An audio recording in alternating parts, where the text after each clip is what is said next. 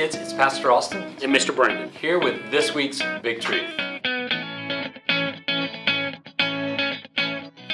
So, welcome back, and we've got Mr. Brandon back here with us um, to finish out this series, or actually begin kind of guides four through nine series of redemption.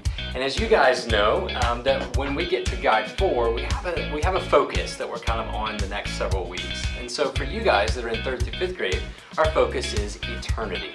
And so our challenge to you is as we're walking through guides four through nine of our family discipleship plan, you're looking at these big truths through the lens of eternity. So where do we see eternity in these big truths? So without further ado, this week's big truth is God is our substitute. God is our substitute. Now, time out. You guys may be saying, wait a minute, Pastor Austin, you're on the wrong guide. We've already had this big truth. That's true, but we're going to take a different look at it this time around. So we are going to be talking about that God is our substitute in this big truth. We've got a different Bible verse and a different Bible story, so kind of hang tight. So speaking of, where does that big truth come from? From lots of different verses, but this week we have a very special verse, one that I think you guys probably know, and it's John 3.16. So just to be able to convince you guys that, um, that this is where our big truth comes from, I'm going to read it out of the Bible, but here's what I want you to do at home.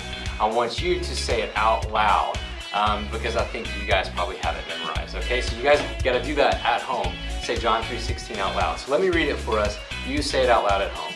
For God so loved the world that he gave his only Son, that whoever believes in him should not perish, but have eternal life. So, you guys know that verse. It's a verse that a lot of us know. But what we want to do is take a look at this verse with the understanding of the big truth. So, God is our substitute. Where is that found in John 3:16? So, let me read it again. I want you to think about that. For God so loved the world that he gave his only Son, that whoever believes in him should not perish but have eternal life. So, where do we see that God is our substitute?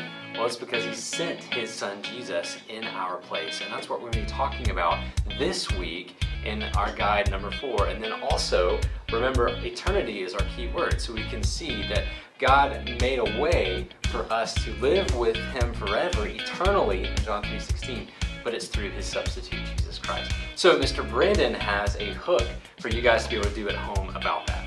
Yeah, so um, this week, really our hook for this week is for a challenge for you guys just to have a conversation. And this is going to be a super honest conversation. Uh, Mom and Dad, you're going to have to be a little open with your kids.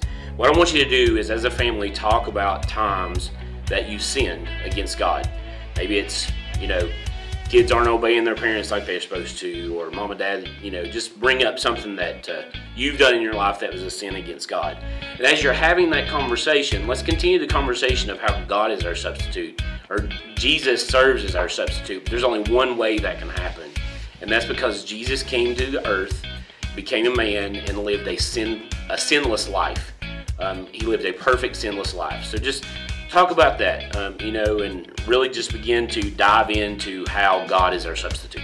That's awesome. Yeah, so yeah, that's a great conversation for you guys to have um, around that big truth.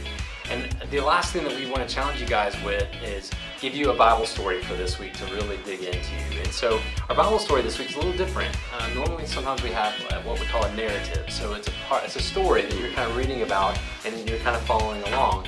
This one's not like that. It's from the book of Hebrews. Um, it's going to be super deep, which is why we think you guys in third through fifth grade can handle it. So it's Hebrews chapter 9, uh, verses 11, verse 11 through chapter 10, verse 18. So Hebrews 9 and, and 10 right there. So here's why I think that's super important is because Hebrews, particularly in these chapters, talk about the sacrificial system. So you go all the way back to the Old Testament God instituted a sacrificial system to make an atonement for sin. And so we see that all throughout Scripture, that there's, there's blood and there's death that's involved in order to atone for sin. What Hebrews unpacks is that because Jesus came, he was the final sacrifice. And so there's no reason to, to do sacrifices anymore, is that because Jesus it, it came uh, to be the final sacrifice. So why is that story in this guy? Well, again, ties into our big truth that God is our substitute. So even though we deserve the punishment of death, right, Jesus took our place and he took on our punishment of death for our sin. What good news that is that God is our substitute. So, hey, I encourage you guys as a family, read through Hebrews 9 and 10, maybe even come up with some questions to ask and kind of talk about um, because that's a really deep, meaty passage of Scripture. So, we hope you guys have a great week uh, talking about that God is our substitute. And hey, we will see you right back here next week. See you guys.